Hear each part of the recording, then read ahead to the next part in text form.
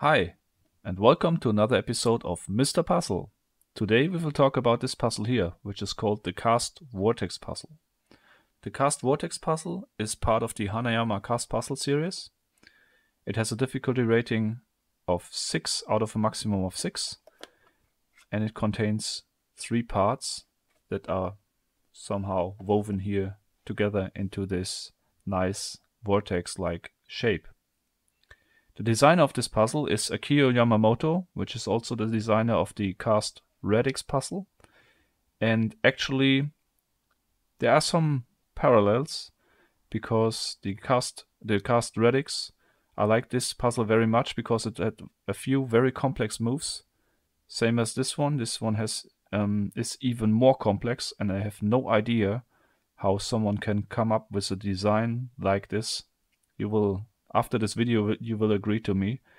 So I really would be interested to know the process how to design a puzzle like this because from my point of view this is really a masterpiece and it is one of my favorite puzzles in the Hanayama Cast Puzzle series and also overall it's one of the of my favor, famous puzzles.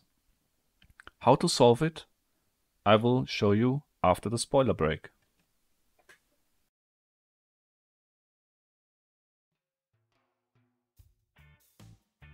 Okay, so before I start with the solution, let me just explain you how I name the different parts of the puzzle that you understand what I'm talking about.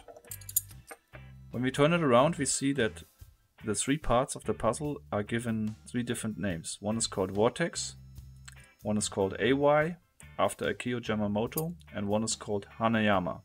Also I will call here the outer parts of the puzzle tails, the ends here tip of the tails, and these parts here on the inside knobs. Also I will call this circle shape here in the inside of each part, each part loop. Okay, so at first we're gonna lift the outer tails that we get into this condition. We will fix the puzzle with one hand, turn it around, which looks quite confusing, and then we will look out for the vortex piece, which is this one here. We will keep it here on the loop. And we will now try to get out the Hanayama piece out of the loop of the vortex piece, but it's blocked.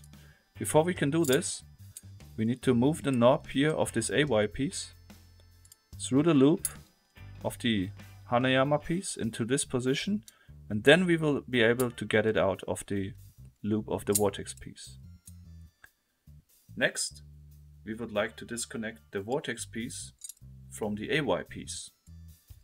So we look out for the AY piece, which is this one here, and we grab it on the tail.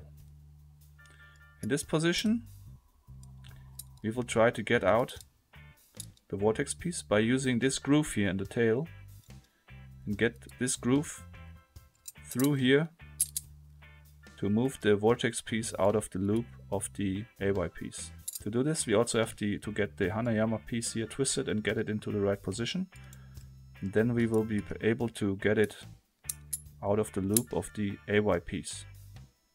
So now we disconnected the Hanayama piece from the loop of the vortex piece and the vortex from the loop of the AY piece. Now we also need to get the AY piece disconnected from the Hanayama piece. Okay. This is what we're gonna do next. We look out for the Hanayama piece, which is this part here. And we need now to, we twist it, flip it now 180 degrees over, like this. To disconnect the two parts, we need to use a groove in the end of the tail here of the AY piece. And this needs to be orientated in a way that it can get through this groove. So we need to first flip it around, flip the AY piece around, get this knob through the loop of the Hanayama piece over here, continue flipping it around and get also the second knob through the loop of the Hanayama piece. And now we have the groove here located that we can get it outside here of the Hanayama piece. So now all loops are disconnected actually. And we're now in a condition where only the, as you can see here, only the three tails are still connected. To, to disassemble it further, we look out for the vortex piece and grab it on the loop. If you do this, automatically these two parts here will get in this condition where the AY piece is over here, the Hanayama piece is over here, and the tails are crossed. Now, we need to move this knob here of the AY piece onto the other side of the tail here of the Hanayama piece over here. To do this, we gently push here and bring the vortex piece in a position by moving it that the knob can get can pass the tail of the Hanayama piece and get into get to the other side like this. If you did so, the parts will disconnect and we can now disassemble the puzzle into its single parts.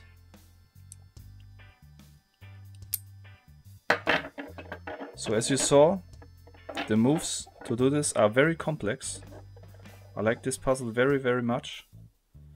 And it's, when you look on the single parts now, they look somehow, at the first point of view, they look somehow the same. But on the second point of view, they look completely different. They have different size of grooves, sometimes no grooves at all. They have a groove here, no groove here in the tail. The knobs are different, the gaps are different, so completely different parts. To reassemble it, we will start with the vortex piece and the AY piece. And we will connect the tails first.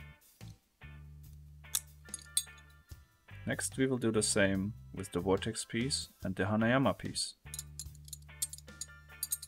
Now we have the tail of the vortex connected to both tails of Hanayama and AY.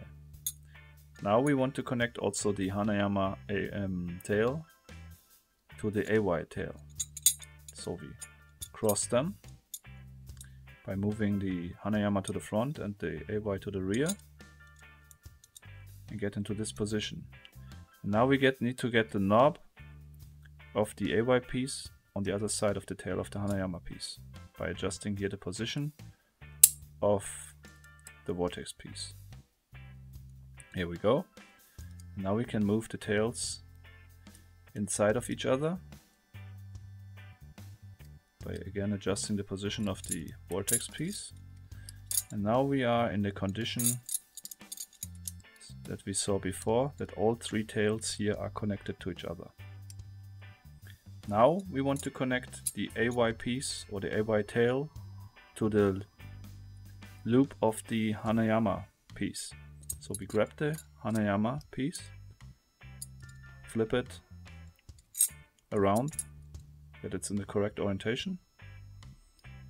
And then we get the Hanayama piece, the groove of the Hanayama piece here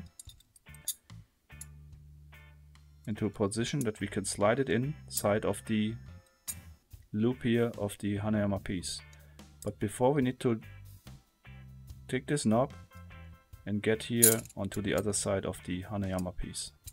Now we flip over the vortex piece and now the loop is in the correct, uh, the groove here is in the correct position to get it inside of the loop of the Hanayama piece, like this.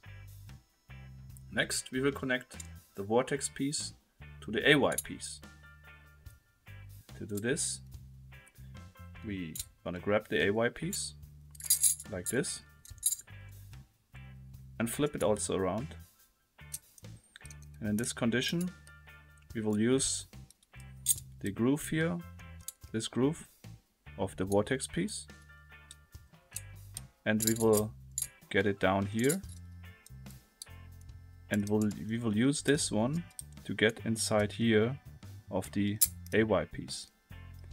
If it's hard to get in, you just need to manage to get the vortex piece, uh, the Hanayama piece, all the way over here and it will go in by alone.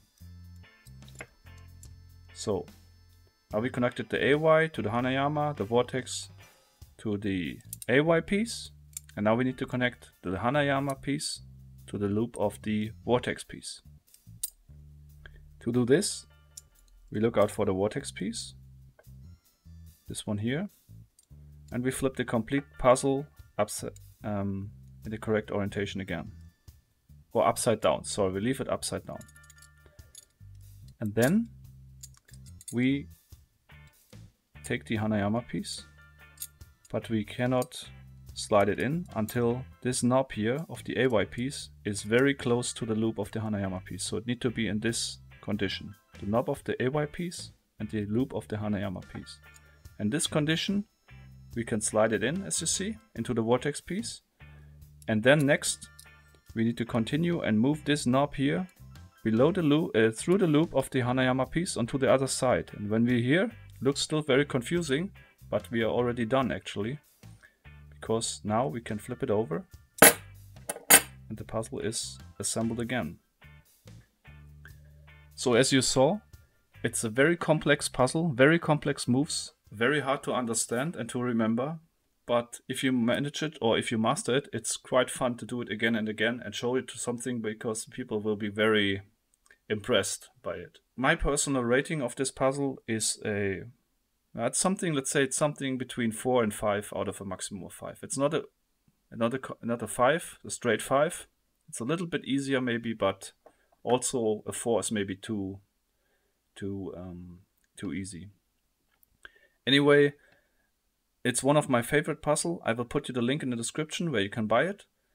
And if you like this episode or have any comments or maybe you find another solution than the one I showed, I don't know, just let me know in the comments. I will read them and I will answer them. And if you like this episode, give me a like. Also, join my Facebook site, give me a like. And if you're interested to see more detail, also join in the future my Patreon channel. And until next time, keep on puzzling.